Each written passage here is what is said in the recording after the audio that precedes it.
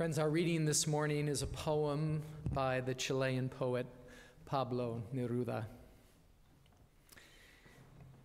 Keeping quiet. Now we will count to 12 and we will all keep quiet.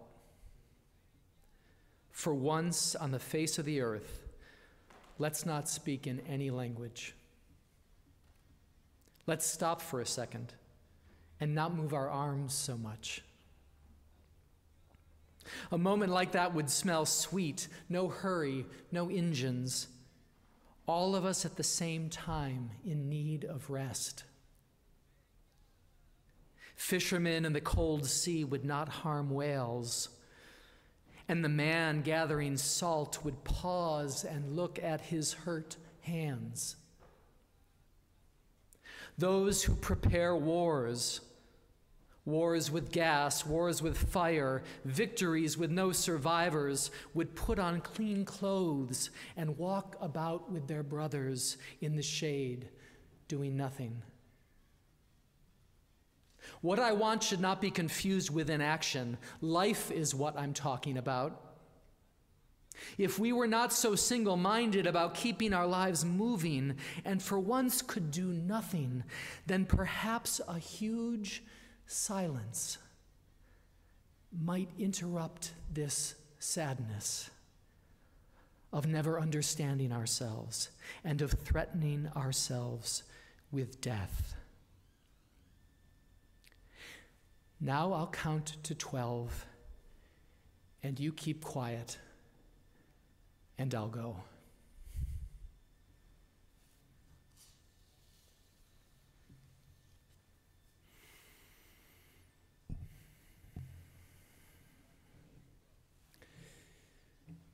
Like Neruda, I'm feeling some urgency these days around silence.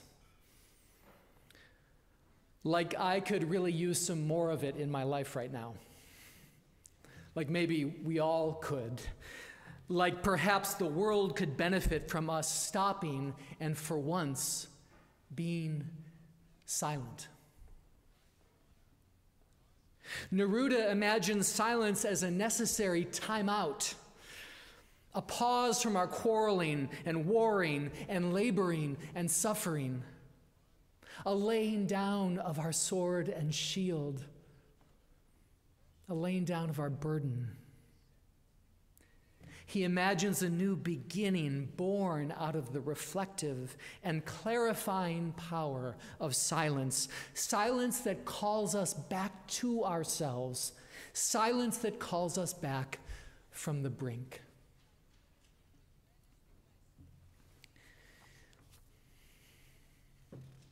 This morning, we begin a three sermon series called Simple Gifts in which I'm inviting us to contemplate the spiritual gifts that are available to us in abundance during these winter months. And it sure feels like winter these days, doesn't it? If only we would make space for them and let them in. Gifts that cost us nothing, but that contain great power the power to center us, to ground us, to heal us to help us be at peace and be peacemakers in the world. So, over the next several weeks, we'll explore together the gift of, of darkness, the gift of our own breath, and this morning, the gift of silence. Now, I'm not sure I ever appreciated that silence was a gift until I was the parent of a toddler. and I wasn't getting any silence.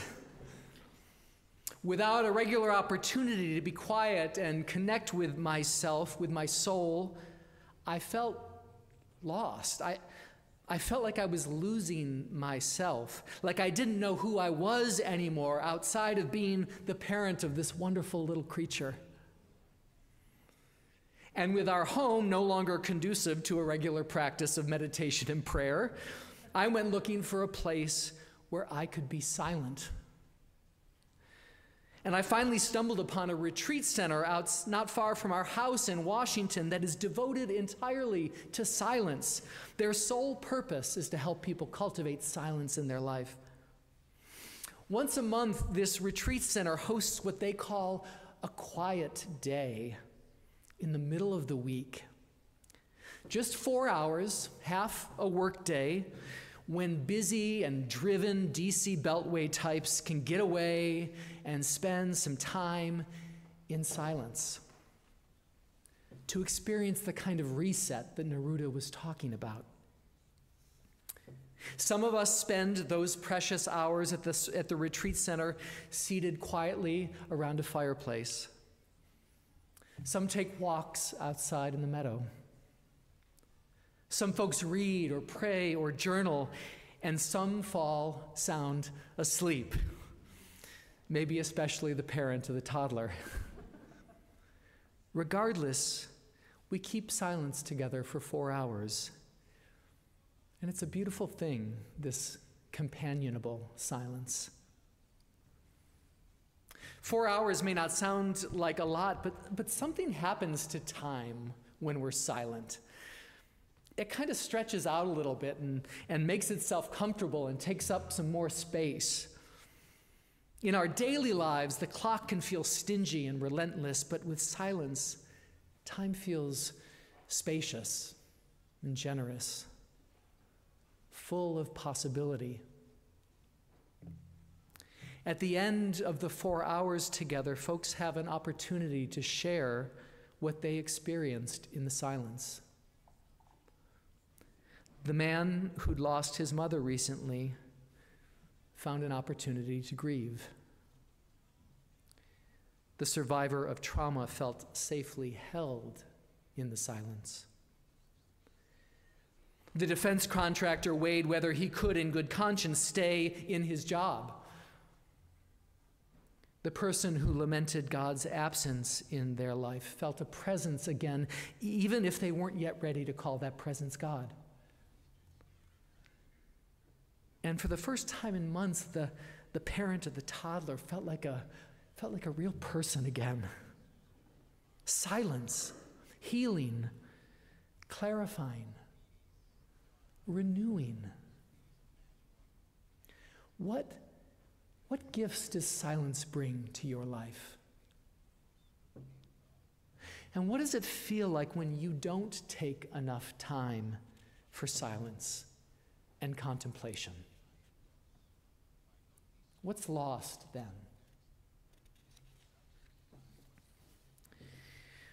There's a story in the Bible about silence that has been speaking to me lately.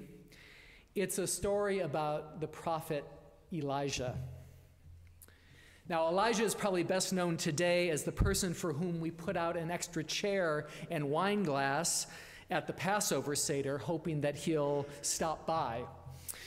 But the truth is that when he was alive, no one really wanted Elijah around. He was one of those prophets who spoke uncomfortable truth to power and reminded folks how they weren't being faithful to their covenants with God or to one another. And because of that, folks pretty much drove Elijah out of town. That's what we do with our prophets. And it was during this exile, when Elijah was feeling lost and alone, that a voice came to him and said, Elijah, Go out and stand on the mountaintop, for God is about to pass by. And Elijah dared to hope that though the people had forsaken him, God had not, that God would visit him on that mountaintop. So he went up, and sure enough, before long, a great wind swept across the mountain, so strong that it uprooted trees, and Elijah was sure that it was God. But God wasn't in the wind. And after the wind came an earthquake that shook the mountain to its foundations. Surely this must be God, thought Elijah. But God wasn't in the earthquake either. And after the earthquake, a fire. And Elijah must have thought, yes, fire. That's how God communicates with his prophets. After all, he came to Moses, didn't he, in the burning bush? But God wasn't in the fire. And after the fire, Elijah stood alone on the ravaged mountaintop, and all was quiet and calm. He heard nothing but the sound of sheer silence. That's a direct quote from the Bible. He heard the sound of sheer silence. Maybe God had forsaken him after all. Then, out of the sheer silence, in a still, small voice, God called to him Elijah. Elijah. Hush. Hush. Somebody's calling my name.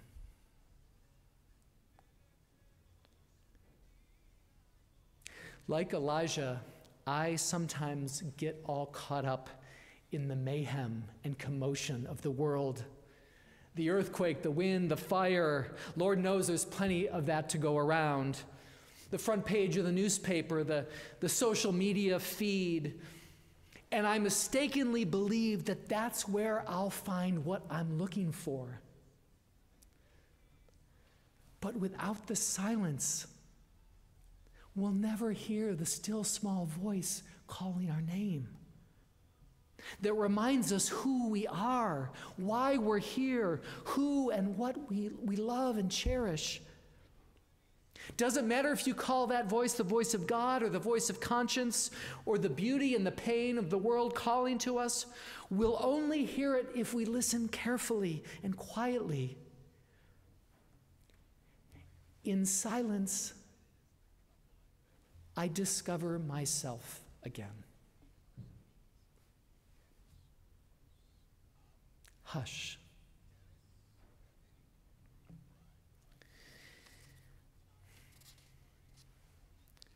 I want to close by sharing with you something that happened to me yesterday here at church.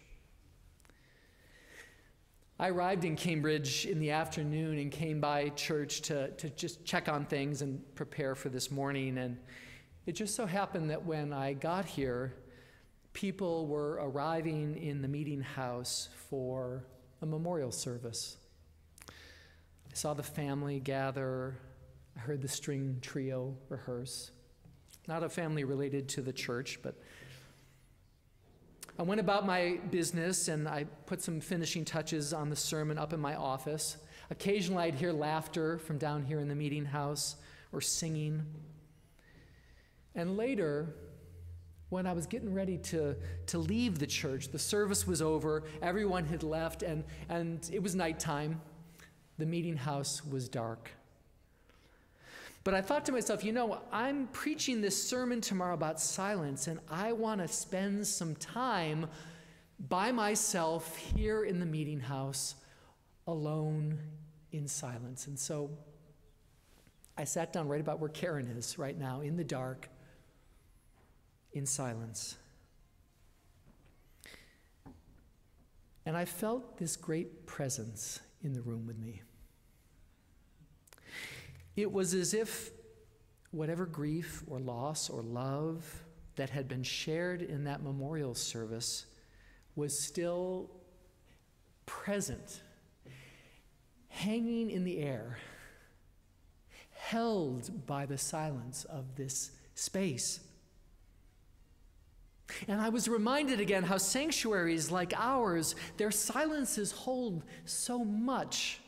All the tears that have ever been shed here, all the, the love that's been celebrated, all the hopes and dreams cherished, they're still here, held by the holy silence of this space.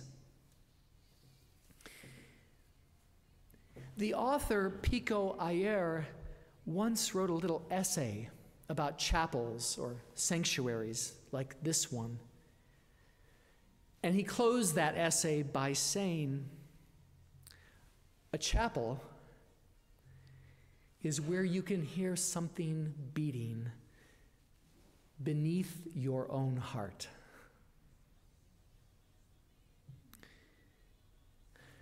By which I think he means that in the silence of a place like this meeting house, we hear not only the call of our own life, the, but the life beneath our life, the foundation, the substrate that upholds and sustains our life and connects us to all other life.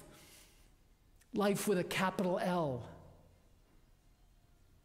A chapel is where you can hear something beating beneath your own heart. Something that reminds you that you're not alone.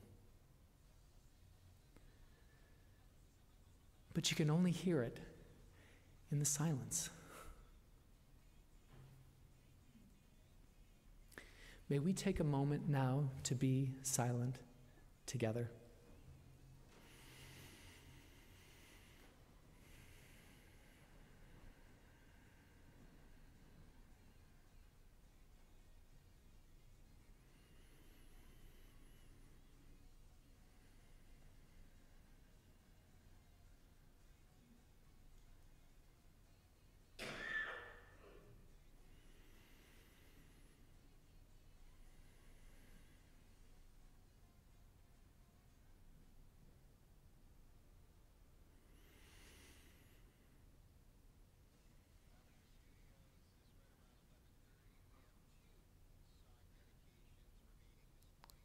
Spirit of life,